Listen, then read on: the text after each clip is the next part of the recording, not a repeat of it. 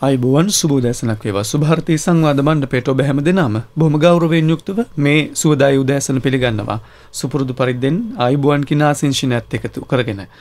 කෘෂිකර්ම අමාත්‍යංශයේ පූර්ණ අනුග්‍රහකත්වයෙන් යුක්තව අද දවසේදීත් අප සූදානම් වන්නේ තවත් සුවිශේෂී මාතෘකාවක් පිළිබඳව කතා බහට ලක් කරන්නට විශේෂයෙන්ම බඩේරිඟු වගාව කියලා කිව්වහම අද වන විට වී වගාවට අනතුරුව තියෙන ප්‍රධානතම භෝගයක් ලෙස ශ්‍රී ලාංකීය ගොවි ජනතාව අතර බොහොම ප්‍රචලිතයි. දිවයිනේ නන් දෙස බැලූ බැලූ හැම තැනකම මේ බඩයිරිඟු තම්බල කන්නට හැකියාව අවශ්‍ය වටාපිටාව නිර්මාණය වී තිබෙනවා. ඒ සඳහා වූ හොඳ වෙළඳපළක් අද වන විට ලංකාව පුරාම නිර්මාණය වී තිබෙනවා. මේ නිසා මේ බඩේරිඟු වගාව පිළිබඳව වැඩිදුරටත් කරුණු සොයා බලන්නට සුභාරතී සංවාද මණ්ඩපය තුල අප කල්පනා කළා. අද අපේ මාතෘකාව බඩේරිඟු වගාවේ ඵලදායිතාව ඉහළ නැංවීම හා පාංශු සංරක්ෂණ ක්‍රමවේද පිළිබඳව. මේ පිළිබඳවයි අද සුභාරතී සංවාද මණ්ඩපය තුළ අප කතාබහ කරන්නට බලාපොරොත්තු වන්නේ. කතාබහ සඳහා අප බොහොම ගෞරවයෙන් සුභාරතී සංවාද මණ්ඩපයට ආරාධනා කළා. ස්වභාවික සම්පත් කළමනාකරණ මධ්‍යස්ථානයේ ප්‍රධාන කෘෂි විද්‍යාඥ අභය කෑදරගම මහත්මයාට ආයිබෝන් ඔබතුමා. ආයිබෝන්. ඒත් එක්කම අපිත් එක්ක ඉන්නවා දැනුම් කළමනාකරණ අංශයේ මධ්‍යස්ථානයේ අංශ ප්‍රධානී නාමල් හෙට්ටිය රචි මහත්මයා ආයිබෝන් ඔබතුමන්ට. ආයිබෝන්. ඒ එක්කම මේ වගාව පිළිබඳව බඩේරිඟු වගාව පිළිබඳව කතා බහ කරන විට එහි භෝගනායකයා අපට අමතක කරන්න බෑ. ඔහු නැතුව මේ කතාව එතරම්ම පරිපූර්ණ වන්නේ නැහැ, රසවත් වන්නේ නැහැ. භෝගනායක සහ සහකාර කෘෂිකර්ම අධ්‍යක්ෂ අපේ බුද්ධික අබේසිංහ මහත්මයාත් ඉන්නවා. ආයිබෝන් ඔබතුමන්ට. බුද්ධික මහත්මයා ඔබතුමන් තමයි අද කතානායකයා. මේ අද දවසේ කතාන්තරේ ඒ අතරතුර අපේ කෑන්දරගම මහත්මයත් නාමල් මහත්මයත් පාන්සු සංරක්ෂණය හා සම්බන්ධ වූ කරුණු පිළිබඳව සියලු කාරණා ගුරුමුෂ්ටියෙන් තොරව අපේ ජනතාවට ලබා දෙන්නට සූදානම්. මොකද බඩීරිඟු වගාව රටට අවැසි වගාවක්. මේ තුල අපට විදේශයට ගලා යන දැවැන්ත සම්පත් ප්‍රමාණයක් ඉතිරි කරගන්නට පුළුවන් රට සස්ත්‍රීක කරන්නට පුළුවන්. ඒ නිසා මේ කතා වහන්න සමස්ත කෘෂි ප්‍රජාවට අප බොහොම ගෞරවයෙන් ආරාධනා කරනවා මෙතෙන් සිට එකතු වන්නට කියලා සුභාරතී සංවාද මණ්ඩපයේ සමග. අරමුම බුද්ධික අබේසිංහ මහත්මයා ඔබතුමන්ගෙන්. අපි සරල ඔබතුමන්ගෙන් අහන්නම් ඔබතුමන් මේ සෝයා සහ බඩේරිඟු ව්‍යාප්ති පුහුණු අංශයේ කෘෂිකර්ම දෙපාර්තමේන්තුවේ භෝග නායකයා. ඒ නිසාම අපට පැහැදිලි කිරීමක් කරන්න. ඇයි බඩීනිගු අපි වගා කළ යුත්තේ සරල ප්‍රශ්නයක්. ඇත්තනම බඩේනිගු ඔබතුම සඳහන් කරා වගේම අපේ රටේ වීවගාවට පස්සේ වගා කරන විශාලතුම් බෝගේ. අපි මේ වෙනකොට හෙක්ටයාර හැට පන්දාත් හැත්ත දහත් අතර ප්‍රමාණයක් මේ වෙනකට වගා කරනවා. ඉතින් ඒක ඇත්තටම විශාල ආර්ථික වාසයක් ගොවියට ගෙනෙන ඉතාමත් හොඳ බෝගයක් විදිර තමයි හඳුනාගෙන තියෙන ලෝකේ ගත්තත් ලෝකයේ රටවල් වල විශාල ධන සම්පත් උපයන බෝගයක් තමයි බඩිනු වගාව කියන්නේ. ඉතින් බඩිනු වගාව ඇත්තරම අපේ ගොවි මහත්තුරු අපි මංහිතන්නේ නිදහසෙන් පස්සේ විශාල වශයෙන් වගාකරුව අපේ ගොයි මහත්තුරු වගාකරු බෝගයක් නමුත් ඒක ව්‍යාපාරික වගාක් විදිහට අපි ඉදිරියට ගෙනවා. මං හිතන්නේ අපි නව අපි වම රටනගු වැඩසටහන වගේ වැඩසටහන් එක්ක සහ උතුරුමැද පලාතේ ඇතිවිත් විප්ලවඇත් එක්ක සහ මුණරාගල දිස්ත්‍රික්කේ ඉතින් අද වෙනකොට ගොවියන්ගේ වීවගාවට පස්සේ තියෙන විශාලතම භෝගය තමයි බඩේරිඟු භෝගේ. ඉතින් මේක ඇත්තටම ආර්ථික භෝගයක් වගේම මේක අපේ රටට විශාල වශයෙන් විදේශ විනිමය ඉතිරි කරන්න පුළුවන් භෝගයක් බවට අද පත් වෙලා තියෙනවා. ඔබ දන්නවා අද වෙනකොට අපි බඩේරිඟු මෙටික්ටොන් අපිට අවශ්‍ය වෙනවා අපේ රටේ අවශ්‍යතාවය සැලකුවොත් එහෙම මෙටිටොන් හාරලක්ෂ විසිපන්දහක්තර අපිට ඕන වෙනවා. වාර්ෂික අවශ්‍ය වාර්ෂිකව. ති ඇතර මේකේ නිෂ්පාදනය අපි අද තාමත් අප නිෂ්පාදනයෙන් ලක්ෂ මෙටිටොන් දෙලක්ෂ අසූදහත් ලක්ෂ තුනත් අතර ප්‍රමාණයක් තමයි අපි අදර නිෂ්පාදනය කරන්න. සරලව කිවොත් භාගයක් පමණ අපි ආනයනය කරන්නට ඔව තුනෙන් එකක් කියලා අපි කියමු. තුනේ එකක් අපි ඇත්තර ආනය කරනවා. ඉතින් මේ තත්ත්වය යටතේ අපි තවවත් දකින්නේ මේ බඩිනිගොල තියෙන අවශ්‍ය ප්‍රමාණය දිනෙන් දින දිනෙන් දින දිනෙන් දින මේක ඉහළ යනවා. සරල සරල කාරණාවක් කියන්නේ ආර්ථික විද්‍යාව තියෙනවා ඉල්ලුම සැපයීම කියලා. දැන් මේ තියෙන ඉල්ලුමට අපේ සැපයුම මදි. මදි. ඒකන වෙළඳපල හොඳයි. ඇත්තර මෙලබල වෙළඳ පොල හොඳයි මංහිතන මේ මේ මේ කන්නේ අපේ ගොයි මහතුරට විශාල ආදායමක් ලබාගන්නත් පුළොන් මේ කන්නේ අපේ ගොයි මහතුරු වඩිනිගු අලවිකරේ බොහෝදුරට හතලිස් පහ කිලෝ එක රුපියල් 45ට වැඩි. සමහර ප්‍රදේශවල මම දන්නවා පෞද්ගලිකවම රුපියල් 50 55ට කොයි මහත්තුරු බඩිනු ගලවි කළා. කිලෝ එකක්. එතකොට ඉතින් අපි මෙච්චර නිෂ්පාදනයක් අපට කරන්න පුළන් හැකියාව තියෙද්දි ඒකට සුදුසු ඉතාමත් සුදුසු පාරසිරික තත්ත්වයක් වාසනාවට අපේ ලංකාවේ තියෙනවා ඉති මේ බඩිනුගු ශාකය ඇතරම හොඳින් වර්ධනය වන්ට අවශ්‍ය පාරසිරික තත්ත්වයන් හොඳට ගැලපිලා වියලි කලාපේ අතරමදි කලා ප්‍රදේශවල ඉතාමත් හොඳින් අපට තියෙන ඉතින් ඒකත් එක්ක මං හිතන්නේ ගොවියෙන්ට වීවගා මතම යපිලා ඉන්න අවශ්‍යතාවයක් නැතුව තමන්ගේ ආදායම අවුරුද්ධ පුරා විසිරලෑන විදිහට නිෂ්පාදනයට සයිකරගන්න අනිකුත් බෝගත් එක්ක බඩිරුම් වගාව හොඳින් වගා කළොත් තමන්ගේ ආර්ථිකය ගොඩක් සවිමත් තත්වයකට පත් කරගන්න පුළුවන් වේ කියලා. දැන් ඔබතුමන් සඳහන් කළා හොඳ වටාපිටාවක් තියෙනවා කියලා මේ බඩිරුම් වගාව සඳහා. සාමාන්‍යයෙන් මේ සඳහා හොඳ කාලවකවානු එහෙම තියෙනවද බඩිරුම් වගාවක් සිදු කරන්න? ඕද අපි ප්‍රධාන වශයෙන් ඇත්තරම දැන් බඩිරුම් වගාව ගත්තොත් එහෙම අපි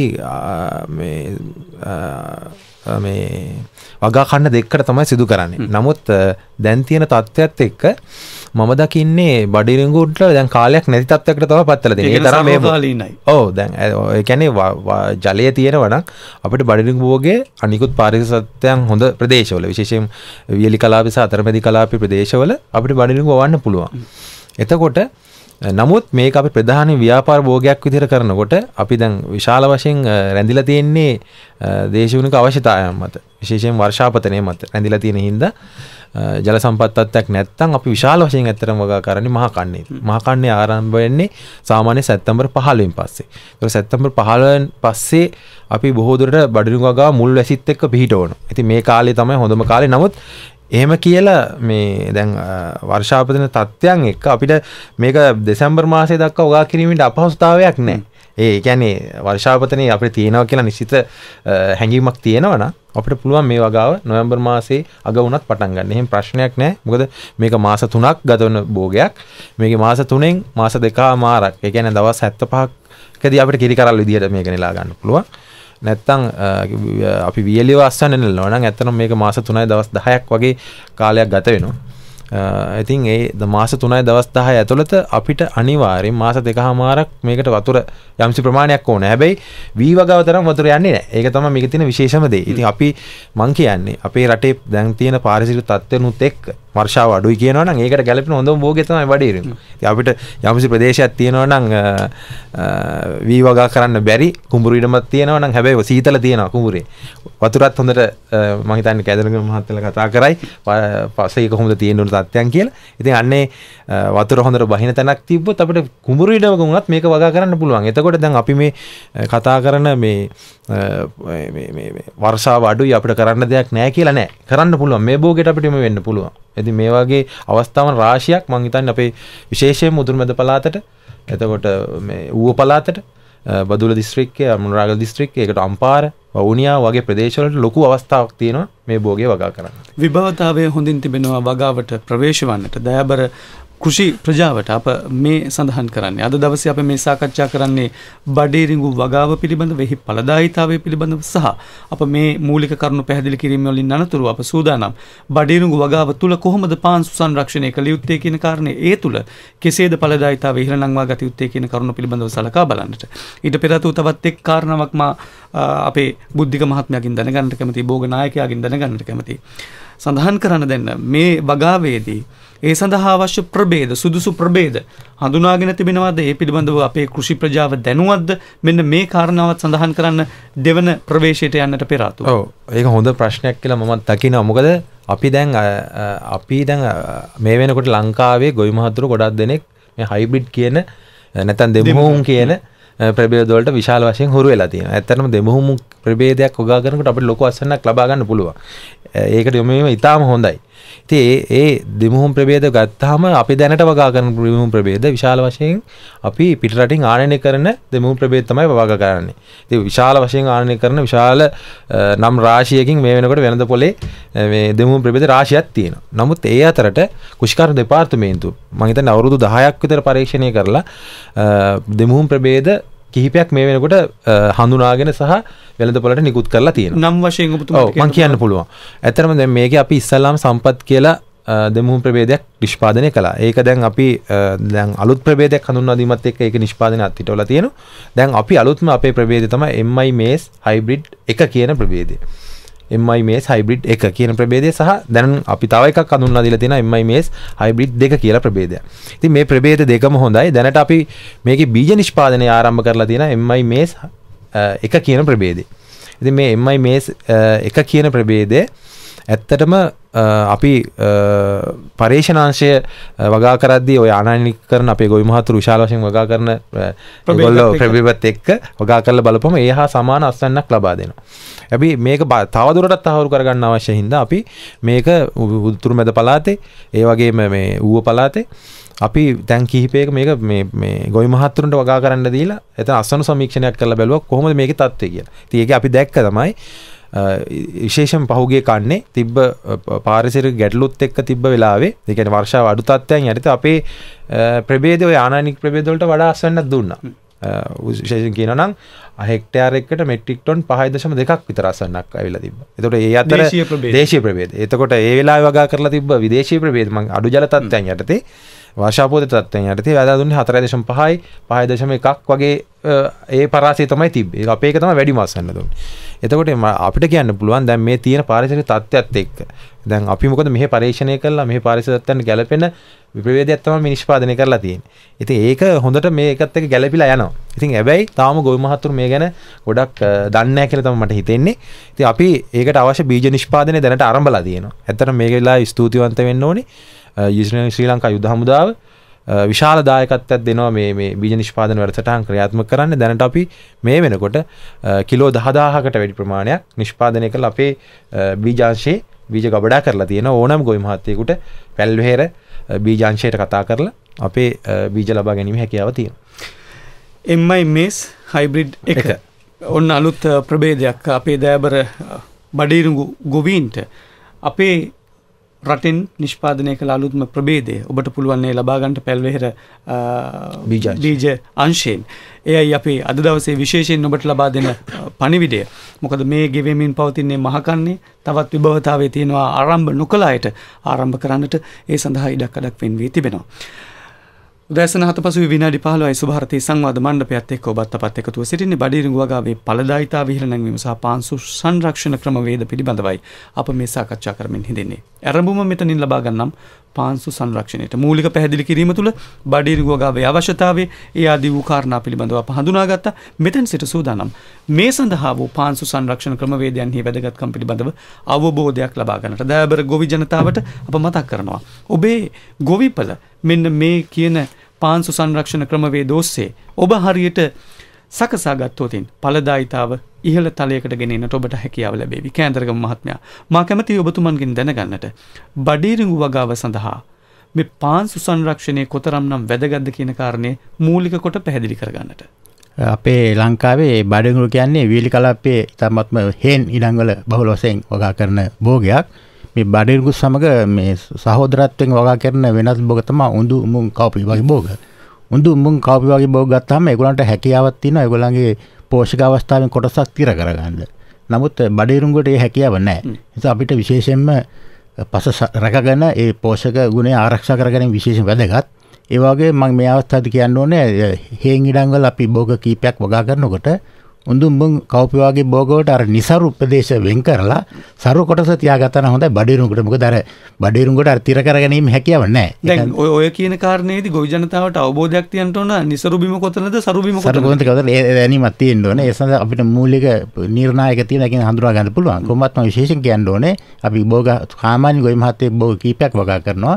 එතනදී උඳුම්බුන් වගේ රනිල බෝග වගා කරන එක නිසරු පැත්තට යොමු කරලා ඉඩමේ සර්ම කොටස තියාගත්තන හොඳයි බඩිරුඟ වගා කරන්න. ඒක තමයි ප්‍රථමයෙන්ම කියන්න කරුණ. අනිත් එක තමයි වීලි කලාපේ බෑවුම් සහිත ඉඩම් තියෙනවා. උස් බිම් තියෙනවා බෑවුම් සහිත. ඒ වගේම සමතල පහත් බිම් තියෙනවා. සමතල පහත් බිම් වල ප්‍රධාන වශයෙන් ওই මහතුරු බී වගා කරන්නේ. ඒක සෝදා පළොස් සිදු වෙන්නේ නැහැ. නමුත් උස් බිම් වල බෑවුම තියෙන නිසා එතන යම් කිසි ප්‍රමාණයක සෝදා පළොස් සිදු වෙනවා. නිසා පාංශු සංරක්ෂණය වැදගත් වෙනවා.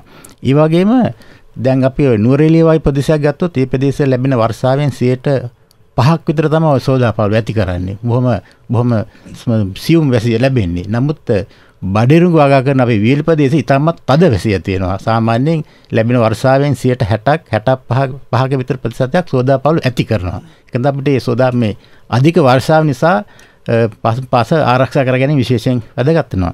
ඒවගේ තවත් දෙයක් තම අපි සාමාන්‍යයෙන් හැම අවුරුද්දෙම අගෝස්තු අග සැත්තැම්බර් මුල්වායි කාලය අපි පස හොඳට බුරුල් කරලා ඒ වර්ෂා වෙනකං ලැහැත්තිලා ඉන්න බීජ වපුරන්ඩ ඒ අවස්ථාවේදී පසහොඳට බුරුල්ලා තියෙන්නේ ඒ වෙලාවෙත් අධික වර්ෂාව ලැබෙනකොට එතනත් අධික සෝදාපාලුවක් සිදුවෙනවා ඒකන්දා අපි බඩිරුඟ වගා කරන ඉඩංගල ස්තීර පාන් සංරක්ෂණ ක්‍රමයක් යොදා තියෙන එක විශේෂයෙන්ම වැදගත් වෙනවා.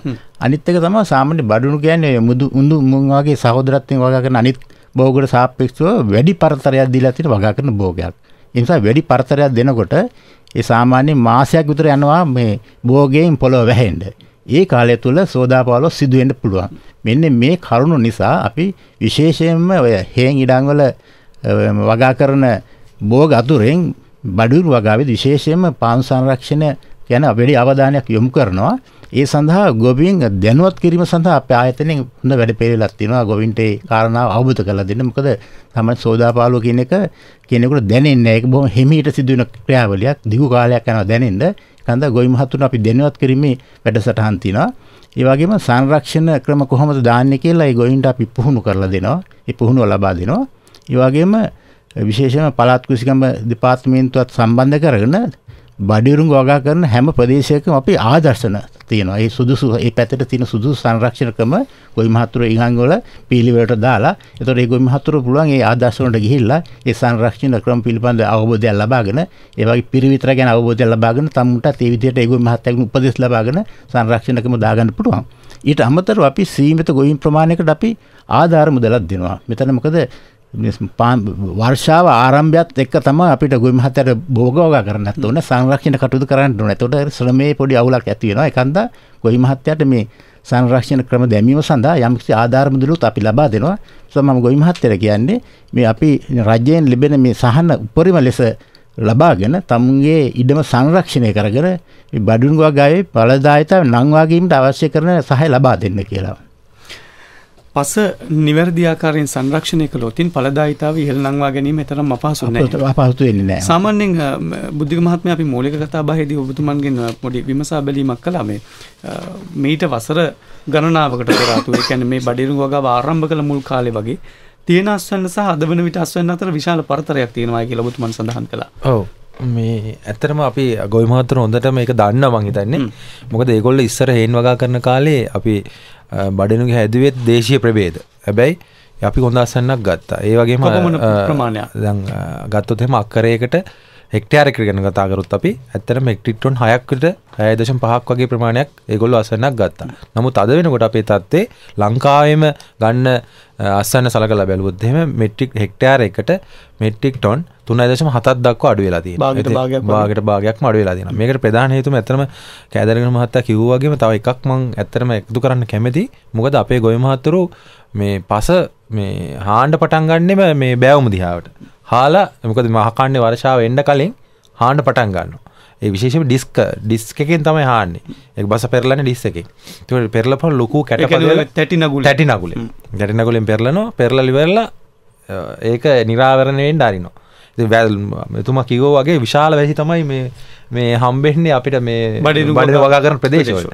ඒ වැස්සත් එක්ක ඔක්කොම හෝදාගෙන පල්ලෙහාට යනවා. ඉතින් මේ ගැන ගොවි මහත්තයාට ලොකු අවබෝධයක් නැහැ. අවුරුදු 5ක් අයක් ගියාම තමයි තේරෙන්නේ පස නිසරු වෙලා කියලා. නිවැරදි පිළිතුරක් අපිට ගන්න පුළුවන් නාමල් මහත්මයා පැත්තට අවධානය යොමු කළොත් මේ තැටිනගුල් භාවිතය තුල සිදුවන්නා වූ කතන්දරේදී මේ යාන්ත්‍රීකරණය එක තමයි මේ ගනුදෙනු සිද්ධ වන්නේ.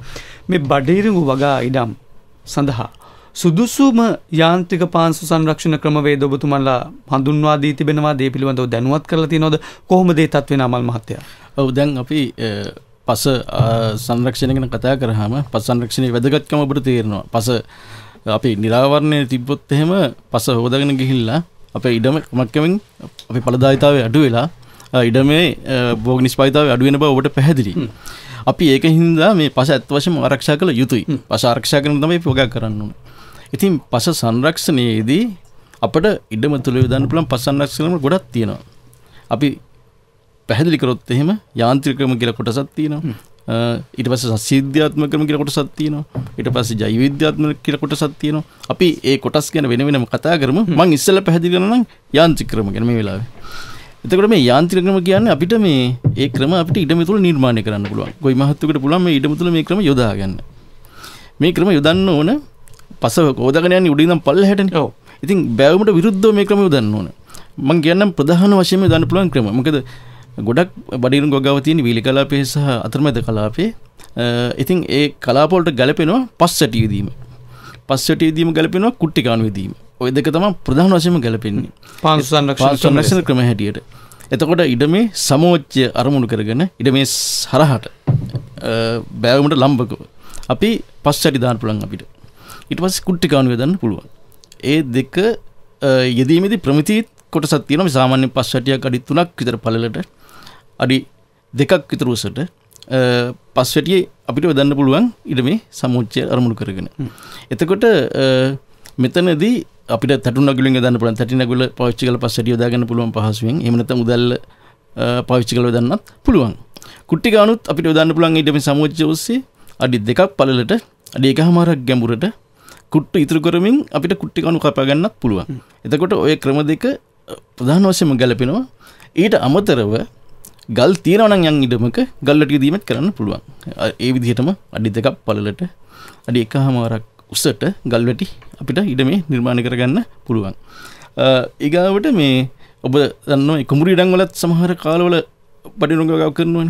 එතකොට මේ කුමුරුවගාව කුඹුරු ඉඩංගල ගොඩක් ලියද තියෙන්නේ. සහ නියරෙන් ආරක්ෂාව සපේනවා ආරක්ෂාව සපේන ලියදී සහ නිරින් ආරක්ෂාව සපයනවා.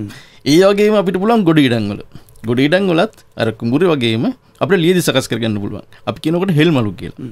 එතකොට මේ හෙල්මලු ක්‍රමයක් අපිට පුළුවන් ගොඩ ඉඩංගොලටත් උදාගන්න මේ පස්ටික කපලා ලියදී හදනවා කුඹුරේ වගේ. ඒකත් හොඳ පසාරක්ෂණ ක්‍රමයක්. බඩිනුග කොටත් ඒ අපිට යොදාගන්නට හැකියාව තියෙනවා. ඉතිං ඔය ක්‍රම ටික තමයි අපිට යාන්තික ක්‍රම වශයෙන් අපේ බඩිරුගවට පාච්චි කරන පුළුවන් ක්‍රම උත්සාහ කරමින් හිඳින්නේ සුභාරතී සංවාද මණ්ඩපය තුළ බඩීරු වගාවේ නියුතු අපේ දෑබර කෘෂි ප්‍රජාවට වඩා ඵලදායී අස්වැන්නක් ලබා ගැනීම සඳහා කෙලෙසින් Tamanගේ වගා වපසරිය සකස් කරගත යුතුයිද කියන කාරණය අවබෝධ කර දෙන්නට මේ කතාවට අපත් සමගින් එකතුව සිටින්නේ ස්වභාවික සම්පත් කළමනාකරණ මධ්‍යස්ථානයේ ප්‍රධාන කෘෂි විද්‍යාඥවරයා අබේ කේන්දරගම මහත්මයා ඒත් එක්කම දැනුම් කළමනාකරණ අංශයේ අංශ ප්‍රධානී නාමල් නාමල් හෙට්ටිආරච්චි මහත්මයා සමගින් සහකාර කෘෂිකර්ම අධ්‍යක්ෂ බෝග නායක බුද්ධිකා බේසිංහ මහත්මයා ඔබ තිදෙනා එකතු කොටගෙනයි අපි මේ උත්සාහ කරන්නේ. බඩීරුං වගාවේ වර්තමාන තත්ත්වය සහ අනාගතයේ අපට යා හැකි දුර පිළිබඳව සාකච්ඡා කරන්නට ඵලදායිතාවෙන් යුතු වගාවක් ගෙන එන්නට. මා කැමති යලිත් වතාවක් කේන්දරගම මහත්මයා ඔබතුමන්ගෙන් විමසන්නට. දැන් අපේ නාමල් මහත්මයා සඳහන් කළා මේ යාන්ත්‍රිකකරණය කොහොමද බඩේරින් වගාව සඳහා භාවිතා කළ හැකිය කියලා. ඒත් එක්කම කොහොමද සස්්‍ය විද්‍යාත්මකව වඩා හොඳ පාංසු සංරක්ෂණ ක්‍රමයක් මේ බඩේරුම් වගාවට හඳුන්වා දෙන්නට පුළුවන් අපට? ඇතසෙම අපේ මේ නවල් මත්‍ය සංකරා වගේ සංරක්ෂණ ක්‍රම රාශියක් යාන්ත්‍රිකකම තිනවා එක ඉතාමත්ව වඩා ප්‍රචලිත වෙන්නේ පස් වැටි. පස් වැටි දැමීම ගැන අපි වැඩි උනන්දුවක් දක්වන්න කියනවා ඊට අමතරව මේ ශාස්ත්‍රීය විද්‍යාත්මක ක්‍රම කියන්නේ දැන් ගොයි මහත්තයයි බඩගුරු වගාවේදී කරන කාර්යයන් සංරක්ෂණ පෙරදරි කරගෙන සංරක්ෂණ සිදු වෙනද සීදුරු මාරු ඉලක්ක කරන එක. දැන් බඩුරු වගාවේදී යම් යම් ක්‍රියාකාරකම් ගොවි මහත්තයා කරනවා. ඒවා සංරක්ෂණය වෙන විදිහට සීරු මාරු කරලා කරන එක තමයි අපි ශාස්ත්‍රීය විද්‍යාත්මක ක්‍රම කියලා කියන්නේ. විශේෂයෙන්ම දැන් ඔය බඩිරුඟු වගා කරන හේන් ඉඩ සාමාන්‍යයෙන් ඔය අගෝස්තු මාසයේ අවසාන කාලයේ සහ සැප්තැම්බර් මාසයේ කාලේ කැලෑ සුද්ධ කරනවා. කැලෑ සුද්ධ කරලා සාමාන්‍ය ඉස්සර ක්‍රමයක් තිබුණේ මේ කැලෑ සුද්ධ කරන එනකොට කොළොඩු පුච්චලා දාන එක අපි දැන් කියන පුච්චලා දාන්න එපා කියලා. මොකද ඒ කොළොඩු අපිට පුළුවන් වැටියක් විදිහට දාන්න. අපි ඒ වැටියක් විදිහට සාමාන්‍යයෙන් අඩි 50ක විතර පරතරයට ඉඩමේ හරහට මේ එකතු වෙන කොළොඩු වැටියක් විතර දැම්මොත් අර මූලික වැහි වලින් එන පස සෝදා ගන්න පුළුවන්. ඒක සෝදාපවල වළක්වා ගන්න පුළුවන්. ඒකද අනිවාර්යයෙන්ම කියන අර පැරණි ක්‍රමයට ඒ කොළොඩු තැන් තැන් වල ගොඩ ගහලා පුච්චන්නේ නැතුව ඒවා ඉඩමේ හරස් අතට වැටි ක්‍රමයට අඩි 50ක විතර දුරින් දාගත්තාම අපිට එතන යම්කිසි ප්‍රමාණයකට සෝදාපාවල පලක්වා ගන්න පුළුවන්. ඊට අමතරව අපි බුද්ධික මහත්තයා තිස්ස සඳහන් කරා වගේ අපි උපකරණ භාවිතා කරලා බිම් සැකසීම් කරනවා නම් එතන සමෝච්චයට කරන්න ඕනේ. දැන් ගා ගොයි මහතුරු ඉහළ සහ පහළ ක්‍රමයට කරන්නේ ඒක එච්චර සුදුසු නෑ. ඒකෙන් සෝදාපාවල තව ඇති කරනවා. ඒකන්ද ඉහළ පහළට බිම් සැකසීම කරන්න නැතුව අපි සමෝච්චයට ඉඩමේ හරහට ඒ ක්‍රමය කරන්න කියලා කියන. එතකොට අපිට හුඟා දුරට මේ සෝදා පාළුව අඩු කරගන්න පුළුවන්. අනිත් එක තමයි මේ බිම් සැකසීම් වැඩ හැකි ඉක්මනින් කරන්න. හැකි ඉක්මනින් කරලා බෝගේ දාන්න ඕන. එතකොට අපිට මොකද බිම් සකසන අවස්ථාවේ තමයි හුඟා ප්‍රමාණයක් සෝදාපල සිදු වෙන්නේ. ඒකන්ද මේ බිම් සකසීම වැඩ අල්ලලා ඉන්නේ නැතුව හැකි ඉක්මනින් ඉතාමත්ම ඉක්මනින් බිම් මඩ වැඩ ටික ඉවර කරලා භෝගය ස්ථාපනය කරගත්තොත් අපිට එතනින් සෝදාපාලුව නතර කරගන්න පුළුවන්. ඒ වගේම අනිත් එක තමයි හුඟක් ලොකු උපකරණ භාවිතා කරන්න එපයි කියලා. කියන්නේ ඉස්සර සාමාන්‍ය හුඟක් ගොවි මහතුරු උදැල්ල විතරයි භාවිතා කරේ. නමුත් දැන් අද යාන්ත්‍රීකරණය ගිහිල්ලා යාන්ත්‍රීකරණයේ කෙලවරට ගිහිල්ලා දැන් ලොකු උපකරණ භාවිතා කරනවා. පත ගොඩක් ගැඹුරට කැඩෙනවා. ඒක සුදුසු නෑ. ඒකන්ද අවම ලෙස බිම සැකසීම ඉතාමත්ම වඩා හොඳයි. ඒ දැන් ඒ වගේ තැනකදී මේ යන්ත්‍රය ඒ සඳහා සුදුසු පරිදි සකස් කරගැනීමේ හැකියාව සුදුසු යන්ත්‍රය භාවිත කරන්න බෑ සිසිල් මාරු කීම තියෙන හුඟක් වෙලා ගොවි මහතුරුගේ නොදැනුවත්කම සහ අනිත් එක තමයි ගොවි මහත්තයා හුඟක් වෙලාවට අර මේ ඒ උපකරණ භාවිතා කරන පුජ්‍යලට බාර දෙනවා මගේ ඊටම හාලා දෙන්න කියලා. ඒ පුජ්‍යලයා ඇවිල්ලා හාලා දාලා යනවා. ඒක අවබෝධයක් නැහැ. ඒ පුජ්‍යලට කිසිම අවබෝධයක් නැහැ මගාව පිළිබඳ. ඒකන්ද ඉතින් ගොවි මහත්තයා පොඩ්ඩක් ඉදිරිපත් වෙලා එයාට උපදෙස් දෙන්න ඕනේ මෙන්න විදිහට මගේ ඊටම හාලා දෙන්න කියලා. ඒක විශේෂයෙන් වැදගත් වෙනවා. අනිත් එක තමයි පැල සිටුවීමේදීත් මේ ඉඩමේ හරස් අතට පැල සිටුවීමෙන් අපිට හුඟා දුරට සෝදාපාලු අඩු කරගන්න පුළුවන්. අනිත් එක තමයි නිසි පරතරය අපි වැදගත්. ඉඩමක් අපි දැන් බෝගය හිටවලා හැකික්මනින් බෝගෙන් පස වහ ගන්න ඕනේ. ඒකන්දා නිසි පරතරය අනුගමනය කිරීම වැදගත් වෙනවා. සාමාන්‍යයෙන් කොයි වගේ පරතරයක්ද? සාමාන්‍යයෙන් අපි සෙන්ටිමීටර් 70යි 60යි ඒ පරතරය තමයි නිර්දේශ කරන්නේ. ඒ නිර්දේශ පරතරය අඩි එකක් දෙකක් විතර පරතරයක් ඒ පරතරය අනුගමනය කිරීම විශේෂයෙන් වැදගත්. ඒකට හැකික්මනින් බෝගෙන් වැහෙනවා. එහෙම නැත්නම් ටිකක් දුරින් දුරින් හිටුවොත් වැඩි කා වෙලාවක් යනවා වැහෙන්න. ඒ නිර්දේශිත පරතර අනුගමනය කිරීම විශේෂයෙන් වැදගත් වෙනවා.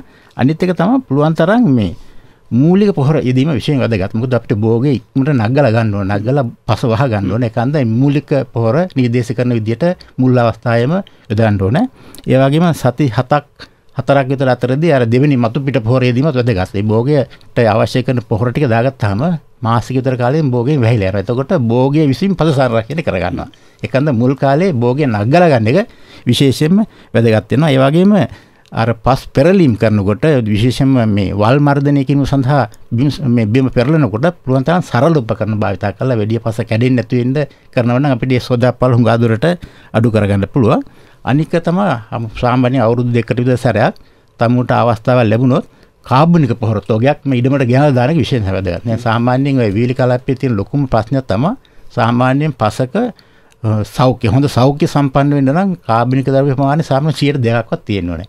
හුඟක් ඔය බණගුරු වගා කරන ඉඩංගොල ඔය කැලෑ එලි කරලා ආරම්භයේදී හොඳ ප්‍රමාණයක් තියෙනවා. 100 දෙකට වඩා වැඩි තියෙනවා. මොකද බොහොම සෞඛ්‍ය සම්පන්න පසක් නිසා. සෞඛ්‍ය සම්පන්න පසක්. ඒකන්ද 100 දෙකට වඩා වැඩිපුර තියෙනවා. නුත් කන්න ගාණක් යනකොට ඔය 100 දෙකකින් පල්ලෙහාට බහිනවා. එතකොට පස නිරෝගී මේ ඒක රෝගී පසක් වෙනවා ඒකන්ද මම කියන්නේ හැම කන්නේම දාන්න කියන්නේ ඒක අමාරුයි. අවුරුදු දෙකකට විතරයක් මේ ලාභයකට ඒ කුකුල් පොර ටිකක් ගොම් පොර ටිකක් පිදුරු ටිකක් අහුනාම ගෙනල්ලා ඉඩමි අර කාබනික ද්‍රව්‍ය ප්‍රමාණය 100ට දෙකේ මට්ටමේ ඉහළින් තියාගත්තොත් පට සෞඛ්‍ය සම්පන්න වෙනවා. ඒක විශේෂයෙන් වැදගත් වෙනවා. අනිත් එක තමයි බඩගිරුන් අස්වැන්න ගත්තන් පස්සේ අපි කරල විතර ඉවත් කරගන්නේ අර අවශේෂ ලොකු ප්‍රමාණයක් තියෙනවා. ඒ ටික අපි පුච්චලා දාන්න නැතුව ඉදමෙම තියාගත්තොත් ඒකෙන් අපිට භෝගේ ආවරණය කරගන්න පුළුවන්. දැන් අර ඔබතුමන් මුලින් සඳහන් කළා රොඩු වලින් කරන අඩි 50න් 50ට කරන වැටිය සඳහාත් මේක භාවිත මේක භාවිත කරන්න පුළුවන්. අඩි 50න් 50 බර්බා ඉස්සර උයි මහතුරු ඇත්ත වශයෙන්ම උයි මහතුරු දැනුමක් තිබුණා. අන්න ඒකයි. ඒ ඒ අඩි 50න් 50ට වැටි දැම්මා නම් ඒකෙන් සංරක්ෂණය වෙනවා. මෙන්න මේ කරුණු අපිට අනුගමනය කරොත් අර නාමල් මහත්තයා කියා වගේ අර දානයි පස් වැටි වලට අමතරව මේ ශාස්ත්‍රීය විද්‍යාත්මක කළොත් හුඟාදුරට අපිට සෝදාපාලු අඩු කරගෙන හොඳ අස්වැන්නක් ගන්න පුළුවන් බඩුරු වගාවෙන්. සරල ක්‍රම තුලින් අපට කොතරම් නම් දෙයක් කළ හැකිද? අප මේ උත්සාහ කරන්නේ දයාබර කෘෂිකාර්මික ප්‍රජාවට මේ බඩීරිඟු වගාව තුළ ඵලදායිතාවෙන් නංවා ගැනීම සඳහා Tamanගේ පස කොතරම් නම් අපූර්වට ආරක්ෂා කරගත යුතු කියන කාරණේ වඩා හොඳින් පැහැදිලි කරන්නට අප තවත් කරුණු රාශියක් කතාබහ කරන්න බලාපොරොත්තු වෙනවා. මෙන්න මේ පණිවිඩය ඔබට ලබා දීලා. ආහාර සුරක්ෂිතතාවයෙන් යුත් ස්වයම්පෝෂී කෘෂි ආර්ථිකයක් බිහිකිරීමේ අපේක්ෂාවෙන් ක්‍රියාත්මක වන කෘෂිකර්මාන්තයේ නව ප්‍රවණතා විමසීමට ලක් කරන බ්‍රහස්පතින්දා සුභාරතී සංවාද මණ්ඩපය. ආහාර නිෂ්පාදන ජාතික වැඩසටහන දෙදහස් දාසේ දෙදහස් දහ අට කෘෂිකර්ම අමාත්‍යංශයේ පූර්ණ අනුග්‍රහයෙන්. සුභාරතී සුභාරතී සංවාද මණ්ඩපයේ සමගයි ඔබත් අපත් එකතු සිටින්නේ උදෑසන 7 පසුවේ විනාඩි 33යි දැන් වේලාව. කාර්යාලවලට යන්නට නැත්නම් නිවසෙන් පිටත් වන්නට සමහර වෙලාවට නිවසෙන් පිටත්ව ඇති ඔබ ඔය කොයි හැමදිනටත් අප වහන් ඉන්නවනම් අද දවසේ මේ කරන කතා බහ බොහොම වැදගත් වේවි. මොකද Tamanගේ නිවෙස්වලත් ඇතැම්ම අය අපි දකිනවා බඩීරුඟු පැලයක් දෙකක් අ, ඉඳ ගන්නට උත්සාහ කරනවා. මේ නාගරික සමාජයේත් බඩීරුඟු ගහක් දෙකක් හිටවපු නිවෙස් ඕනතරම් අපට දැක ගන්නට පුළුවන්. මොකද මේ වගාවට මේ භෝගයට රටේ ජනතාව බොහොම කැමතියි. අ, අපි අ, බුද්ධික මහත්මයන් අහන්නේ දැන් බුද්ධික මහත්මයා ආහාර නිෂ්පාදන ජාතික වැඩසටහනක් ක්‍රියාත්මකයි වර්තමානයේ. රට තුළ හැකි හැමදේම වගා කරමින් රට ආහාරින් අ, සුරක්ෂිත තැනක් බවට පත් කරන්නට ඒත් එකම වගා ලංකා වගා සංග්‍රාම වගා සංග්‍රාමයේ හඳුන්වා දීමක් කළා පහුගිය දවස්වල. මේ තුල මේ බඩේරිඟු භෝගයට කොතරම්නම් වැදගත්කමක් අ, ලබා දීලා තියෙනවද? ඔව් ඇත්තටම මේ මංහිතන්නේ ආහාර නිස්පාදන ජාතික වැඩසටහන ඒ වගේ වගා සංග්‍රාමය යටතේ ඉතාම ඉහල තැනක් ඉම්මිලා දීන බඩින් ගෝගවට මොකද මේ ඇත්තටම රජයක් විදිහට සහ කුෂිකරන දෙපාර්තමේන්තු විදිහට කුෂිකර අමාත්‍යංශ විදිහට අපි හඳුනන තියෙන ගොවි මහත්තයාට ෂණිකව ආර්ථික ඉහළ නංවන්න තියෙන හොඳම භෝගයක් විදිහට මේ බඩිනිකු ඉති බඩිරිංගෝගාවට විශේෂ දායකත්වයක් ජාතික වැඩසටෙන් ලබා දීලා තියෙනවා. ඉතින් ඒකේ විශේෂම සඳහන් කරන්න ඕන අපි හෙක්ටයාර අසූ පන්දාහක් මේ සැරේ වගා කරන්න මේ මහ කණ්ඩ වගා ගන්න වැඩා කරන්න සැලසුම් කරලා තියෙනවා. ඒ යටතේ විශේෂ වැඩසටහන් රාශියක් ක්‍රියාත්මක කරනවා. විශේෂයෙන්ම කුෂිකාර්ය දෙපාර්තමේන්තයේ බිම්මට්ටමේ ඉන්න ව්‍යාප්ත නිලධාරීන් හරහා පුහුණු ගොවි මහත්තුරුන්ට අවශ්‍ය දැනුම. ඔය දැන් අපි කතා කරන සියලුම දැනුම. ඒ කියන්නේ වගා කරන ක්‍රමවේද ඒකට බීජ සපයා ගන්න ක්‍රමවේද? ඒ බීජ කොහොමද හිටවන්නේ? පෝර දාන්නේ කොහොමද? වල් මර්ධනය කරන්නේ කොහොමද? පස් සංරක්ෂණය කරගන්නේ කොහොමද? සියලුම දැනුම දෙන්න විශේෂ පුහුණු ක්‍රමවේදයක් අපි සකස් කරලා තියෙනවා එතන මේ දවස්වල ක්‍රියාත්මකයි. ඒ වගේම ඊට අමතරව ඇත්තටම කුෂිකරණ අමාත්‍යංශයේ අනුදැනුම් මත මේකට වැඩි අසන ආදර්ශන විශාල ප්‍රමාණයක්. ගවී මහත්තුරුන්ට අත්දතා බලන්න. ඇත්තනම් මේ කියන්නේ මොකක්ද කියලා. මේ මේ ඇත්තරම ඔය කියන අස්සන වලට යන්න පුළුවන්ද දැන් අපි මං කිව්වා ඉස්සෙල්ලා 3.7 අපි ඉන්නේ කියලා. නමුත් අපි කියනවා 6.8ක් මෙට්‍රික් ටොන් ගන්න පුළුවන් කියලා. සාමාන්‍යයෙන් ලෝකෙ දියුණු රටවල මේ මේ නිෂ්පාදන පරාසය කොහොම තැනකද තියෙන්නේ? ඇත්තටම ලොකෝ ලෝකෙ දියුණු රටවල් මෙට්‍රික් ටොන් 8 ගන්න රටවල් 8 10 ගන්න රටවල් තියෙනවා. විශේෂයෙන්ම ගත්තොත් එහෙම බ්‍රසීල වගේ රටක් 8.5ක් වගේ තියෙනවා. ඉතින් හෙක්ටයාරෙක්කට මම මේ කතා කරන්නේ. ඉතින් ඒ වගේ ලොකු අස්වන ගන්න රටවල් තියෙනවා. අපිට ගන්න පුළුවන්. අපිට ගන්න පුළුවන්. අපිට මොකද බඩිනුගාව ඒකට හොඳ අනුරූපී වෙලා තියෙන්නේ. ඉතින් ඒ හැඳහා වැඩසටහන් තමයි අපි ක්‍රියාත්මක කරන්නේ. ඒක දැන් ඇත්තටම ලංකාවේ ඔප්පු කරලා තියෙනවා පිරිසේ පරීක්ෂණ ආයතන වල. පරීක්ෂණ ආයතන වල තස්වන මෙට්‍රික් ටන් 6.8න් එහා ගන්න ගන්න පුළුවන්. ගන්න තැන් තියෙනවා. ඉතින් ඒකට විශේෂ වැඩසටහනක් විදිහට අපි දැන් මේ දැනුවත් කිරීම වැඩසටහන් ක්‍රියාත්මක කරනවා. ඊට අමතරව හෙක්ටයාර 7000කට අපි මේ සැරේ සියට පණහය දායකත්වය මද විශේෂයෙන් උතුරු මැද පලාත ඌව පලාත එතකොට අම්පාර් දිස්ත්‍රික්කේ සහ වවුනියාව කුරුණැගල දිස්ත්‍රික්කේ වගේ දිස්ත්‍රික් ආවරණ වෙන පරිදි වැඩි අස්සනු ආදර්ශන පිහිටවන්න සීයට පණහයි දායකත්වය මත ගොවින්ට බීජ නොමිලි ලබා දුන්න. ඊට පමතරව අපි ගාව දැනට මේ සැරේ මං ඉස්සල්ලත් කිව් අපේ ප්‍රබේදේ කිලෝ දහදාහක් තියෙන ති අපි ඉදිරියට බලාපොරොත්වෙන මේ කිලෝ දහදාහත් මේ වර්ෂයම ගොවි මහතුරු අතට පත් කරලා ඒකෙන් වැඩියස්සන ආදර්ශන අපේ වෙබ්‍රේ දෙනුත් මේ අස්වන්න ගන්න පුළුවන් කියලා ආදර්ශන කරලා ගොවි මහතුරුන්ට පෙන්වන්න.